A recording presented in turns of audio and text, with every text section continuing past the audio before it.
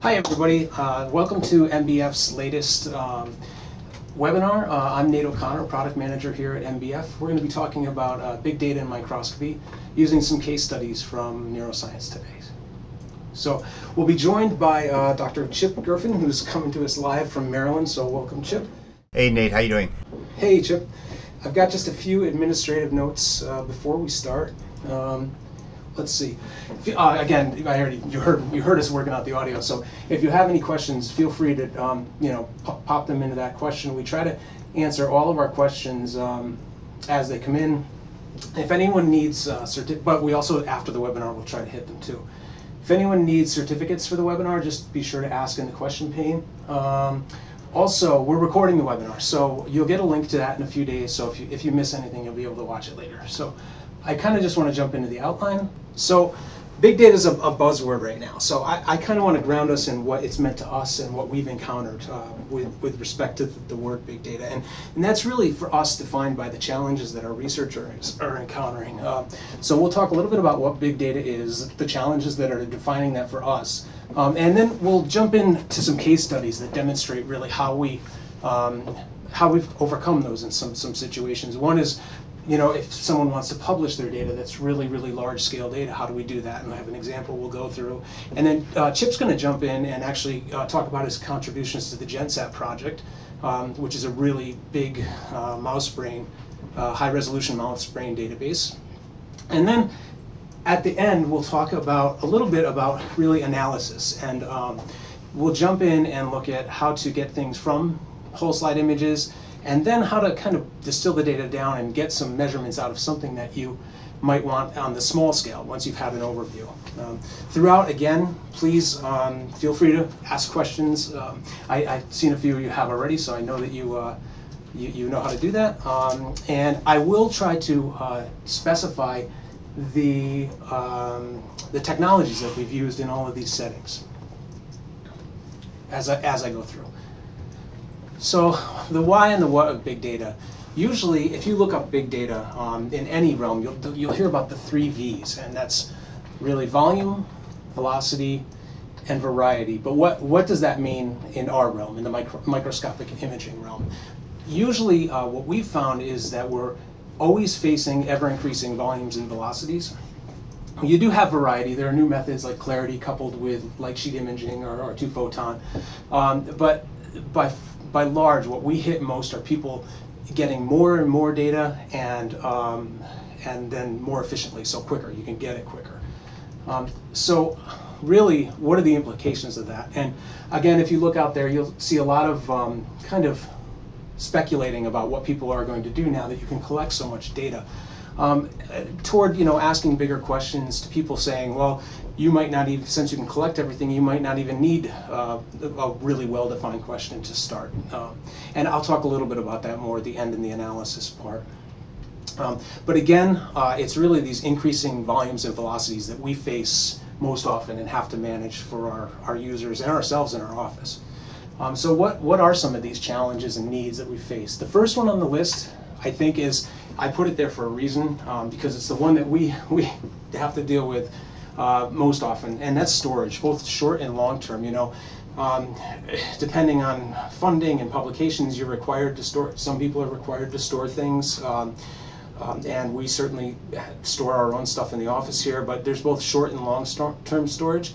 And I think on the, the, technology scape, it's one of the most expensive fronts. Um, I'll, get specific into that when I talk about the server setups. Um, I think the next one that's really important is if you're having to share, uh, both bandwidth and file formats are important. So if if you have um, a desire to share, or maybe even um, guidelines that saying you should share, that you know some of us face those based on funding as well. Um, being able to do that efficiently so that you don't eat up your bandwidth is important, and that's really where file formats and compression come in. So we'll talk a little bit about that. Uh, the next thing that the case studies will really run through is or is organization. So um, once you have this, you know, this large sets of data uh, and they're big, how do you how do you get them organized? How do you index them? How do you search them? Um, and I think the other one probably that goes tight association with that is access. How um, are you accessing the data? Who can access the data? Um, is it something like the GenSat project or the Wiley site that we're going to look at that's open to everyone in the world, or is it something like parts of the Connectome where uh, people apply and are vetted for access to the data? Um, and then kind of the last two go hand in hand as well, analysis and computational requirements. So when we have so much data, how do we, how do we actually do anything with it? Um, so the case studies that we're going to run through now all go through that, and all these challenges are really under the technological constraint of ever increasing volumes and velocities that we face. I want to jump out of PowerPoint for just a second and actually look at a big data file. So this is, I got to pull up another set of numbers on the side for reference. There we go. So this is a mouse brain serial section uh, stained with NeuN cut at 30 microns. Um, and it's imaged at 100x. And you can see, I don't know if you can see it, but there's a little yellow dot here in my macro view. And that is actually where we are in the data. So I have high resolution at that spot in my data. And this is a focal series of 40 steps. So this is an entire, entire serial section scan at 100x with 40 optical sections. If you look here, it says the size, and that's a size on disk. It's 50, 50 gigabytes sitting on disk. Now we're actually using, uh, this gets to the file formats and compression, we're using our own flavor of JPEG 2000, and this is compressed at 20 to 1. So you can imagine it'd be 20 times bigger on disk for, this is one serial section. If you step back now for a second and say, well, this is one serial section, I'm interested in the whole brain. If you say, well, it's 30 microns for this section and the brain is, oh, rostrocaudal distance of something around maybe seven millimeters or so, depending um, on the animal, that's going to be 300, roughly, roughly 250 to 300, depending on sectioning events, and we know how that can go. Um, serial sections if I do the math on that, I'm going to end up eventually with a compressed um, brain at 100x for an entire through brain series of 141 ter terabytes. Uh, so, or I'm sorry, 14 terabytes. That's that's really a big amount, and that's compressed. Uncompressed, it's actually 283 roughly terabytes. Um, so it's really just uh, a, a, lot. It's a lot of data. Um, the other thing is, you know, toward the velocity part of things, the actual number of fields of view in that total brain, if we were to do a through series, would be 44 million fields of view. So it really is a, a big data problem. I'm just differentiating the fact that um, in, in our big data realm, we're running mostly into volumetric big data. Um, and the ends are increasing, that, that'll happen, but really the one that we have to overcome most often is, is just how large these data sets are. Um, whereas another setting like proteomics or genomics or drug discovery, you have a large set of images that are independently analyzed. Here they're contributing to being volume, volumetric data. Um, so that, that kind of frames uh, where I'm coming from today when I, when I talk about big data. I want to jump next right into um, a publishing example. And this group um, is from um, Gaillard and Karten's work uh, last year in the Journal of Comparative Neurology they wanted to publish all of the whole slide images that they had associated with this study wherein they took Nile rats, which have a specific distribution of cones in the retina, and, and did intravitreal injections of a tracer, and then wanted to look at the circuitry uh, through the brain. So uh, they did that from different cutting orientations, and provided us with those, uh, and published them basically to the wiley.biolucida.net site. Um, so and that actually that resource is available for for most author I think any author with the JCN who'd like to publish uh, complete data. So let's take a look at that. I'm going to pull up the actual article. Um, there we go. And this article has a, a link right to it, um, and I'm on that page. has a link right to it to the database, so that when you click uh, on that in the article, you're going to jump onto the Wiley site. It's going to, I have a list of collections because I've been on here before, but it'll jump right to, right to the server uh, and go to that collection of slides that you want to see. If I look here, um, they opted to organize things by uh, into folders, subfolders on the server, um, and these are all rearrangeable um, how they want them to be, and the names as well. But um, they did things by cut orientation and staining. So if we go in here and look at, let's say we want to look at all of the sagittal Guim sustained slides that we have here. So if I scroll through here, here are all of my whole slide images. And so anyone reading the article can come to these and, and look at specific full resolution imagery. If I do that here, um, they can do that, you know, at any time really, right from the article if they're online. Um, and so I'm just zooming into different areas of the, of the slide, uh, but it, it's at full resolution. So this is only at 25% zoom. We can easily go down more. So this is associated with their article. You, so you can see, like right off the bat, it's resolution above and beyond what a figure can give you. They um, they decided to have a kind of a, a freeform structure. They're ordered by how the sections were cut but they wanted people to be able to just get at the data uh, raw. There's also in here, they, they established a little more of a directed walkthrough. So if I go ordered sagittal sections, they do it, do it for their horizontal orientation too. I can click on these, these are hyperlinks, and they go right to a specific portion of a slide. So I can click through these and go right to the sections that I'm interested I can go further down if I want to, and kind of have a, a stepped walk through all of my, my serial sections. So they have a way that you can freeform go through the data and then kind of step through the data. Um, importantly, they wanted to be able to go from the article to the database. Um, another group wanted to go the other way around. And what we did for them, they wanted to go basically from the database to their article. So what we did for them was to um, put up high resolution figures with annotations in them and then within that, you can actually just click, uh, oh, my browser's in my other window. You can click on that box and it, that annotation in their high-res figure, and it will bring you right to their article online. Um, so we've had to say, okay, well, in publishing large amounts of data, people want to go back and forth really. Uh, and so that's, that's something that we had to make sure that it, basically all of our, our, our web technology supported that.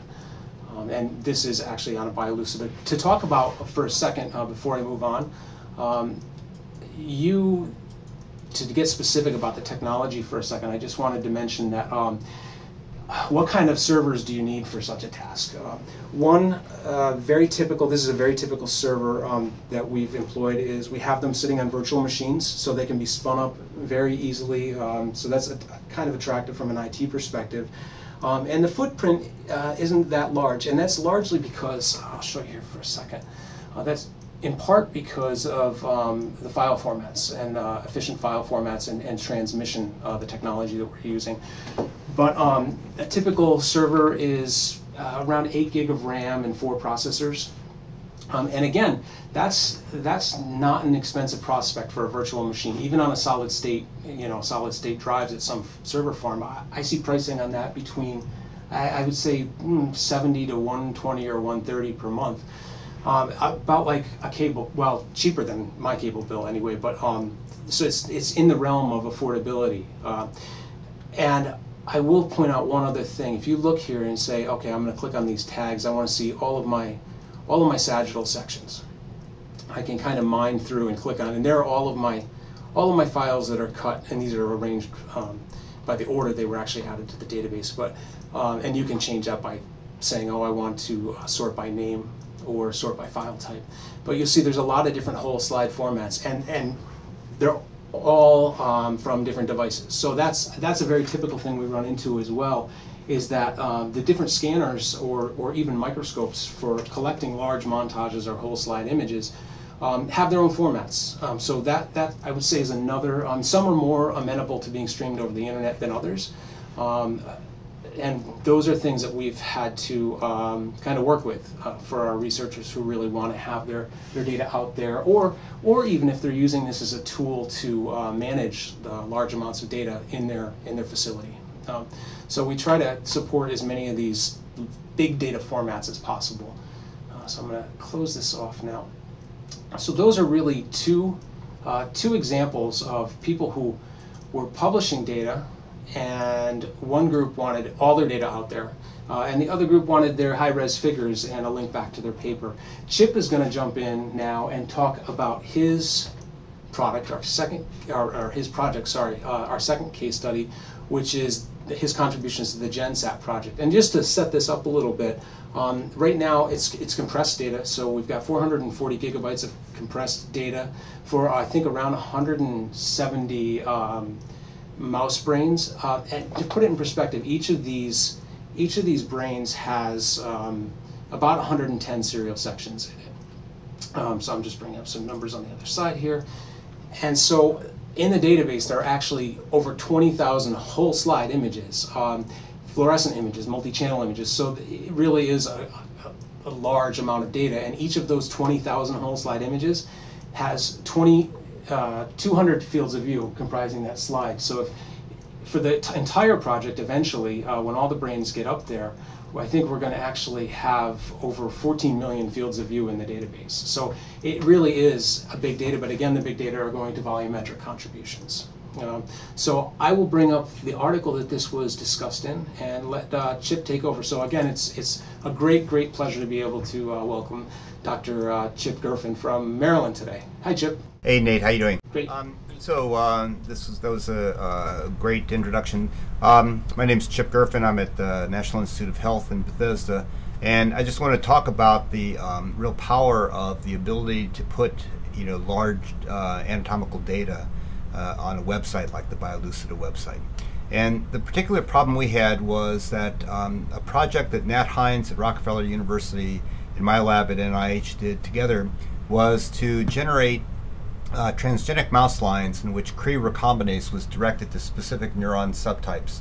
Uh, these, this is an incredibly valuable resource, particularly in this day and age when there's a lot of studies that are using optogenetics, uh, where one wants to, scientists want to, um, you know, direct um, an optogenetic uh, tool to be able to functionally manipulate, um, you know, one type of neuron versus the other, like dopamine neurons and the striatum direct indirect pathway neurons.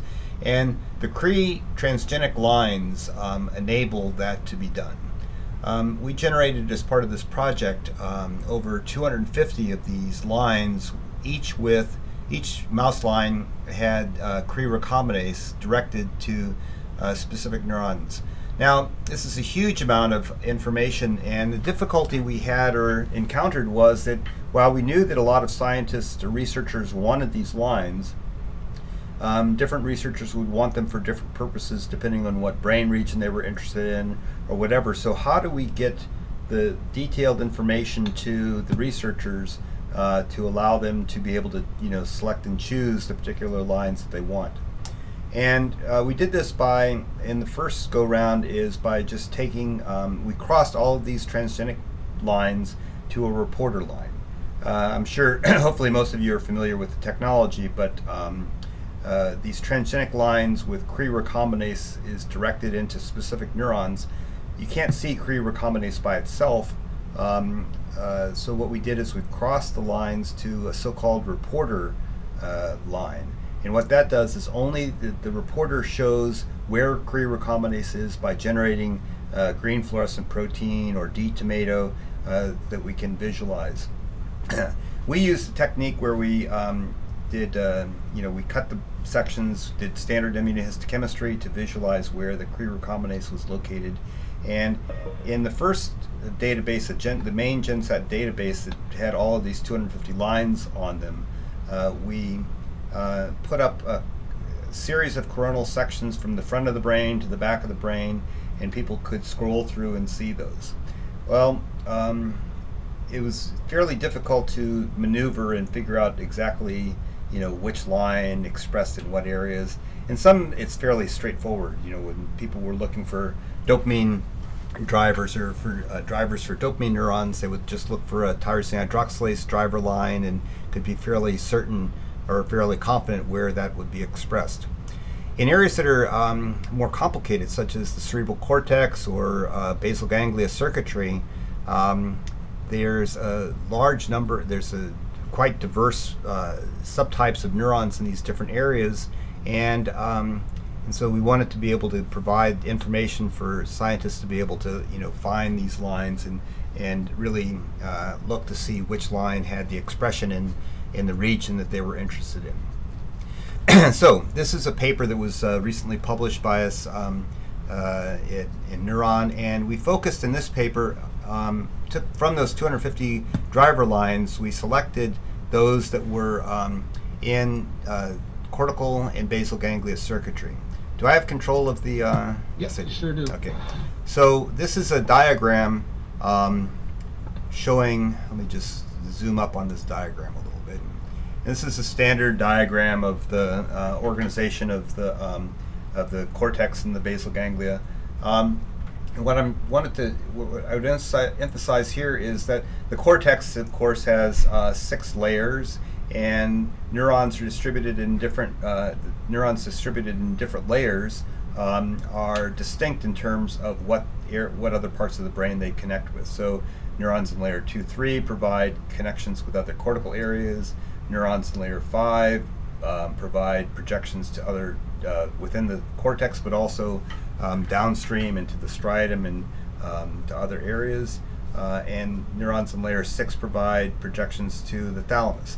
So we have Cre lines, this paper describes Cre lines that are expressed in uh, these different layers, um, but also within the layers there are different subtypes of neurons that need to be identified not just by where they're located, by actually, but by um, uh, their axonal projections. So in this study, what we did was to um, we did was to combine both uh, reporting, use the reporter and uh, injections of a viral construct in which uh, there was a Cre-dependent expression of um, green fluorescent protein or tomato so that we could trace and look at the details of the axonal projections from specific neurons. Now there's just a lot of data and uh, a lot of information in this, um, and in, a, in in the paper, what we can do is provide you know small, uh, or we can provide figures that have a lot of information. And this is a case, um, an example from one of the lines. RBP4 is the the gene driver. KL100 is a specific line. So this is this back uh, this transgenic line RBP4 KL100 uh, this first column shows the expression just with the reporter. So where there's green is um, the uh, where the Cre recombinase neurons are located, and they're located in layer 5 through almost all of the neocortical areas. Now in layer 5, there's two subtypes of cortical neurons, one of which uh, projects um, to just within the cortex and to the striatum, and another that's called the intertelencephalic or IT line, or IT neuron type. And another subtype projects from the cortex into the striatum and then downstream into the thalamus and to a bunch, a number of other brain regions. The thalamus, subthalamic nucleus, superior colliculus, and all the way down to the brainstem and the pons. So even though these neurons are located in layer five, distinguishing what subtype of neuron is dependent on these um, these viral injections. So again, in a paper, what we could do and what we did do was to provide, you know, examples of sections, um, you know, from coronal sections through the brain, and you can see, um, you can see, uh, uh, you know, we can show magnification or show higher and higher magnification, but again, one just gets a small, you know, sampling, and it's dependent on whatever the author wants to look at or whatever the author presents. Uh, whereas the researcher might, um, you know, who's interested in this particular line, might be interested to know, you know, more detail. And so, what we did was to um, uh, provide this information in the standard form in, in the figures in the paper, but then um, put this on the database, on the uh, Biolucida database. Nader, you can have to help me getting to back to I the can database. Open, yep, I can fire Okay. that up for you right here. Uh, so yeah, here's right in the. Um, I've already opened some brains uh, in the tab, so you can just jump to. Um, but this first page is the is the is, is basically your database. So you're you're in there already. So from the paper, and uh, you can jump directly to this database that contains, um, you know, brains from uh, that paper that we described in that paper. And when it first pulls up, it's the GenSat Cre brains.biolucida.net um, database, and um, you know, it first just you know lists all of the the brains and their um, their uh, named again. The convention that we use is the gene driver. This is a nicotinic receptor subtype five, and then the specific um, line name, which is uh, in this case NP306 and then this is a, a brain that just had the reporter in it. Um, and one can, uh, you know, uh, view the particular uh, brains by clicking on the thumbnail. Um, we'll get to that later.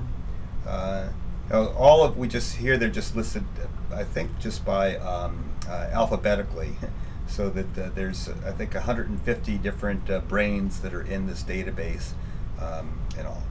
A more useful way is to actually go up and search, and uh, in this um, in this uh, you know the way that we've organized this is that uh, this is again focused on cortical and basal ganglia um, circuitry.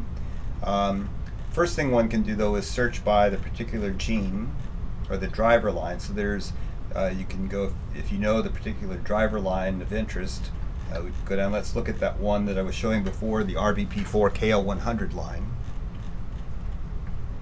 So we click on that and search, it brings back um, you know, brains that uh, are uh, uh, from the transgenic line RBP4 KL100. Now, um, and you have all these brains for different injection regions, right? Is that what the, the other part of that name means?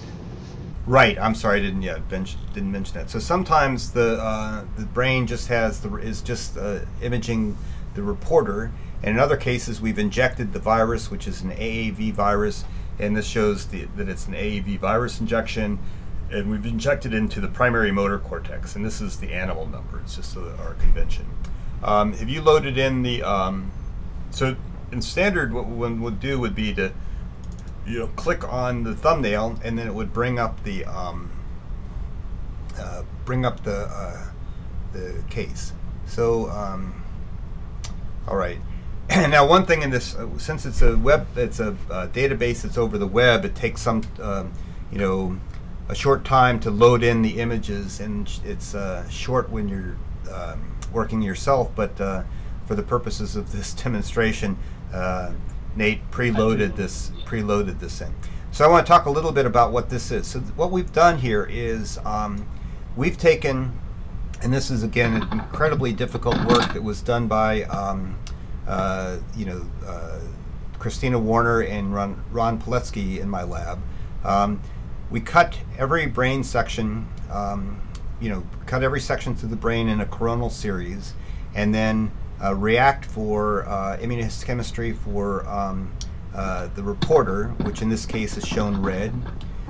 So th this coronal, we use uh, uh, standard immunohistochemical techniques, but we um, label or react every coronal section through the brain, 50 micron sections. They're free floating uh, to get uh, good immunohistochemistry. And then what we've done is to uh, react them and then on microscope slides and then image them at high resolution. And then um, Ron has come up with some uh, really spectacular ways of putting these uh, these image sections back together. Um, and uh, so that we end up with a product where we, we put it into this stack that's loaded into this database. And so this is um, uh, one of the cases of an RBP4 KL100 line, uh, and you can see the reporters in red, and so this is a layer 5 of. Um, so one thing I'd say is that, you know, this is real histochemistry, so sometimes you get, you know, artifacts.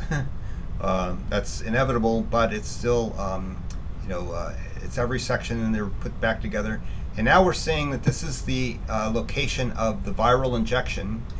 and this is injected into uh, part of the motor cortex, and there it's going to be labeling only those Cre neurons, only those neurons that have Cre in them, and then we can follow the axons down into the striatum. They send their axons down into the striatum, and then they can follow the axons as they course all the way through down into the uh, internal capsule. Down, they have some branches and collaterals that go up into the thalamus, subthalamic nucleus, superior colliculus. Anyway, so this is um, uh, what we've done is basically done a, a, you know reconstructed the entire brain at uh, very high resolution. You can go to you're at three percent zoom now, and now you're going to do. yeah. So now we can now you can zoom up to higher you know even higher resolution. And so at high resolution, you, we can um, you know, scroll through, and you can see. Uh, you know, see the axons as they come through. You can also turn off the um, the reporter and just see the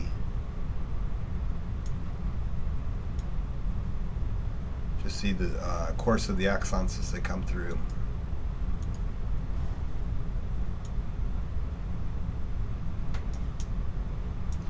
So another example, I think hopefully this is good. This is another example where um, that RBP4 uh, line labels both subtypes of neurons in the striatum. It labels the um, in the both subtypes of neurons in uh, layer five of the cortex, both the IT and PT uh, lines. This is a line uh, KJ18, SIM1 KJ18 that labels neurons that are only the um, they're primarily primarily the pyramidal tract type of uh, um, neuron.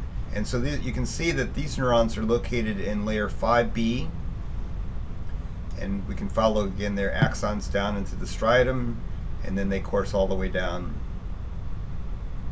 into the subthalamic nucleus and thalamus and all. Again, I want to emphasize you know, the incredible detail that one's, one can provide. Oops. Sorry.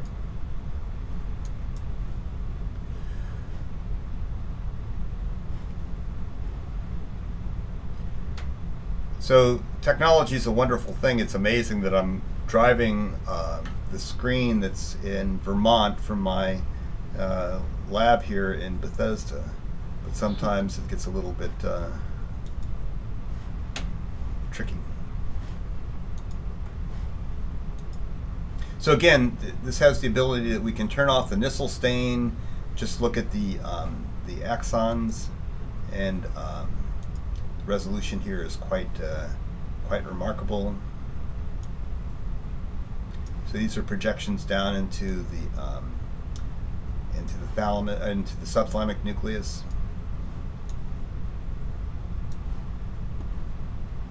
So the point I wanted to emphasize here is that you know one of the uh, um, incredible advances that uh, we've had now with uh, the ability to put our data online like this is that anatomical data has always been difficult because it's difficult to quantify and it's it's a lot of it's uh, visual. And you know people are interested in different parts of the brain and have different you know want to see different things. So in papers what we've been typically limited by is just being what we can put into figures. But now we can put um, you know really high resolution images um, in these databases which is quite uh, uh, um, you know, I, quite useful for you know people that want to look at this. And and I want to just emphasize how stunning some of this uh, data can be. This is another from another case from that uh, KJ18 line. And here we've done we've made three injections into different um, regions with virus viral constructs that uh, can be um, you know generate different uh, forms of GFP. So you can really pick apart the, the, the, circuitry very specifically based on where you inject. Exactly. So this is um, uh, an injection, the uh, GFP injection, um, and then uh, a tomato injection is going to be um, come up in red, and then we use another injection. Anyway, so we can see quite. Um, uh, you know, we can start to pick apart not just the, you know, where it projects, but also the relationship, the topographic relationship. And so, um, and again, the, the resolution that is provided is uh, quite remarkable. So these are, you know, injections from three different cortical areas into the thalamus, showing the topographic relationship, and you can see, um, you know, we have quite, uh, quite incredible um, uh, morphologic detail that one can see. Okay, so um, anyway, I think that that hopefully provides a glimpse of the type of information that's available or can be put onto a website like such as this. And um, turn it back to you, Nate. Yeah, I, I, think that's great. I, you know, we've gone through a couple cases, all the way from someone putting up their figures to someone putting up all their raw data to a case like yours where you've actually you've painstakingly gone through and, and extracted your data and got it up at full resolution into reconstructed brains. Um, and that kind of goes nicely right into the next section here. Um, I'm just going to close this up here.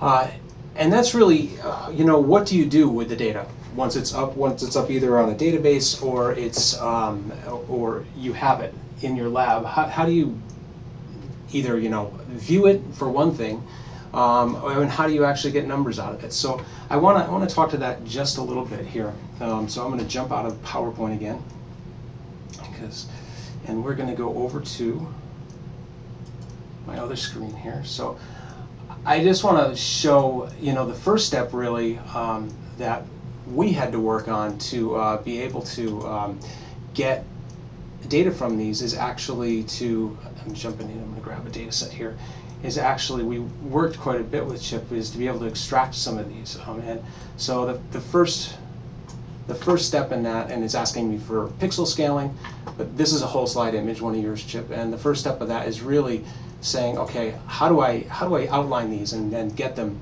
get them into something that um, I can start to register. Um, so that's kind of a, a, first piece of the technology. Another, so that you can do things like, I'll show up something here really quick, so that you can do things uh, and take those all of those brains that that chip had. I'm just going to connect to another server really quickly.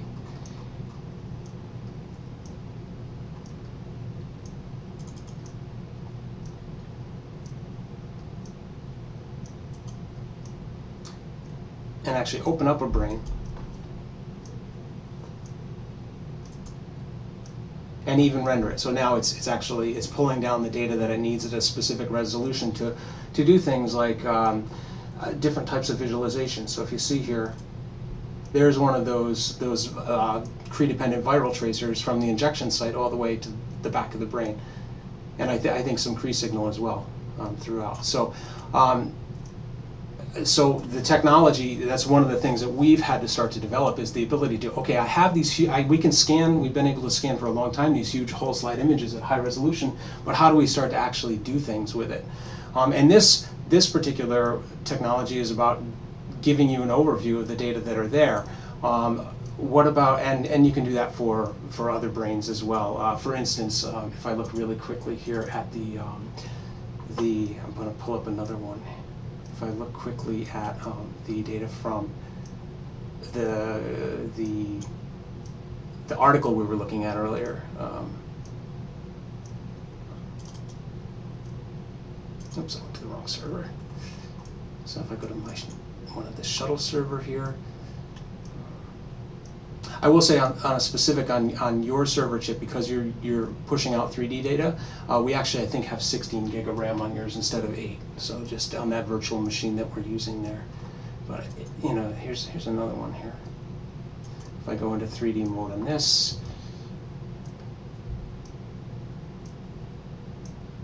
it'll pop up in just a second here.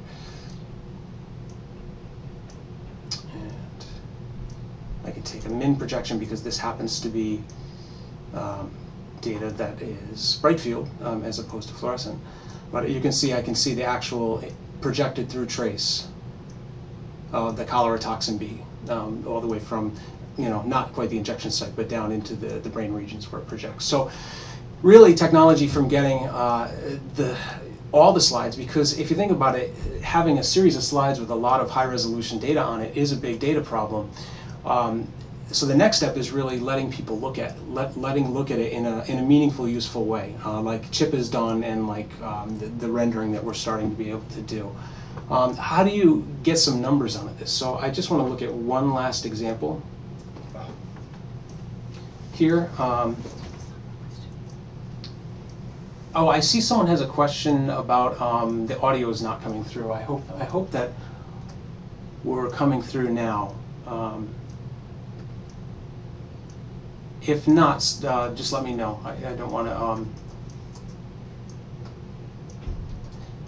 Okay, so one uh, one other thing here. Um, oh, great! Thank you, thank you for that. Appreciate that. One other spot uh, I'll show really quickly um, is getting toward that point of okay, I have really large data sets and I have an overview of it. Now I want to dig in a little bit and try to get some information out of a very specific area of it that I happen to be interested in, another researcher might be interested in something else. Um, but, so I'm going to load up uh, a clarified section of brain. It's on the orders of millimeters thick. It's asking me again about the scaling to make sure it's right. Um, and so it's loading the planes. You probably can't see that on your screens, but it's going to pop up. It used uh, a, a, uh, clearing method and then some two-photon microscopy to go through a few millimeters of mouse brain. Now I'm going to go into quad view here and zoom in a little bit. So this is really the column of data, and I'm going to zoom in here right now. Let's shift a little bit here so we can see things a little better so that you can see um, on your monitors. I'm going to move my pivot point, so that's just setting where I'm rotating about. And so I've gone into this this column of you know deep data and started to really um, specify a region that maybe I'm interested in, and maybe in there I want to do things like um, detect detect a um, some soma, and I can change that a little bit.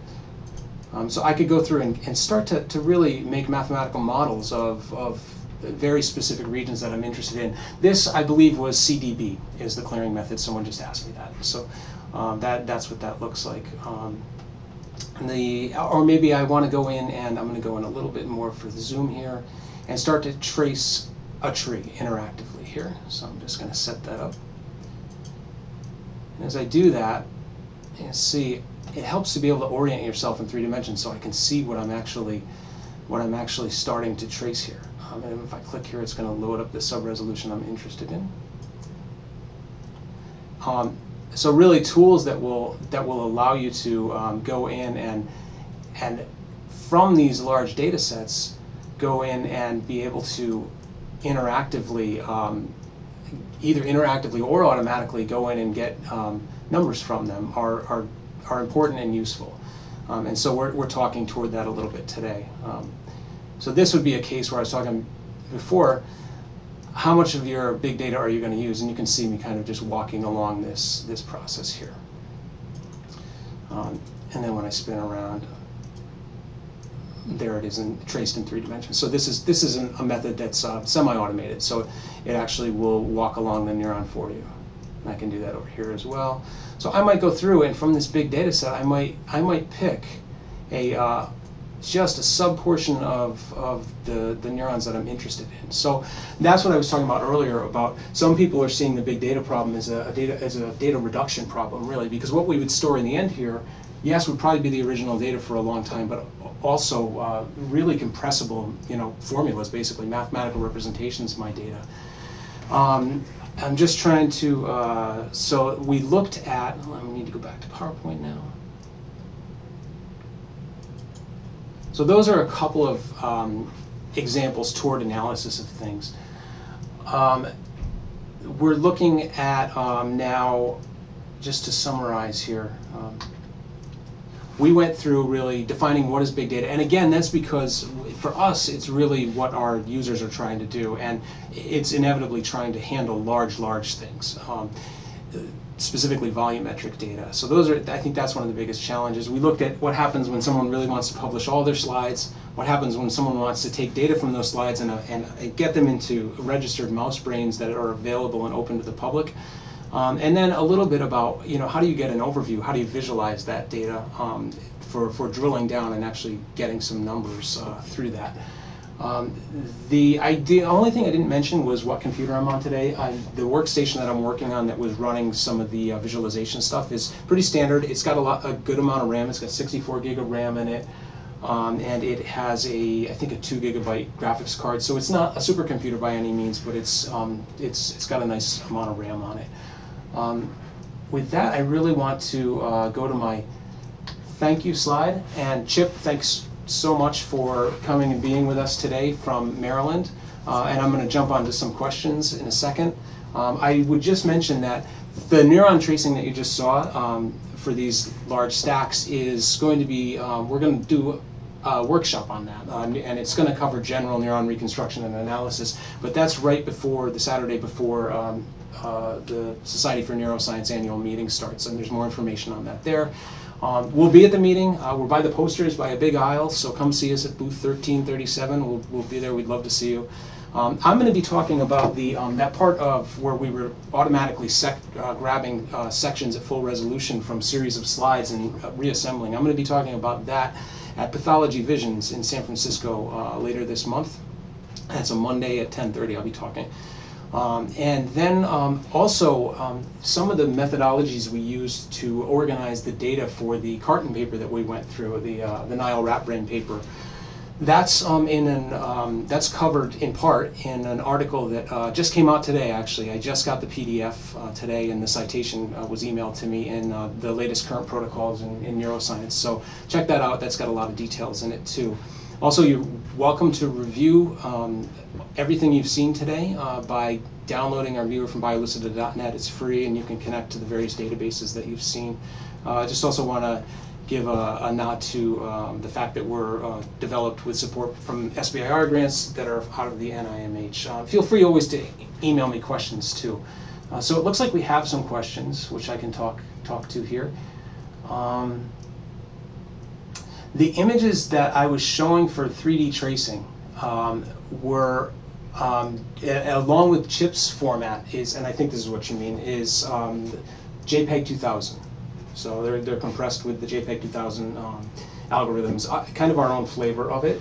Uh, not the not algorithmic, but more like file in, with respect to the file format, how the file format's are arranged. Um,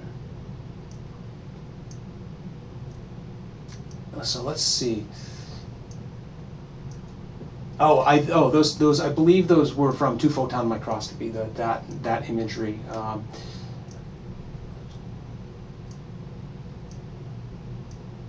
And uh, yeah, certainly was asking if um, if the clarity technique could be used with selective plane microscopy. Yeah, I, I think people are actually uh, using that technique with things like light sheet microscopy to to image to image that those types of cleared uh, organs and brains.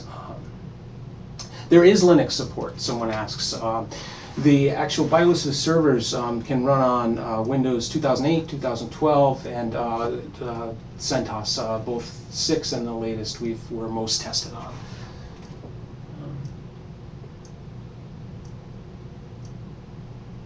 Yeah, and that someone brings up a question of eh, that um, someone brings up the question of um, can our software um, use, uh, can our analysis software access the database uh, and pull down images from it? And yes, uh, def most definitely the answer is yes to that. Uh, someone asked about, specifically about the JPEG 2000. Um, in, in two-dimensional virtual slides, you should be able to open that JPEG 2000 in most other software. Uh, the 3D, there's no standard really out there right now for how people are doing um, um, the JPEG 2000 in 3D, but we are, we're happy to work with, with folks on, on what they need for that, for sure. Uh, we and we actively have been doing that. Um, I think that some of the others uh, we can answer maybe offline. Um,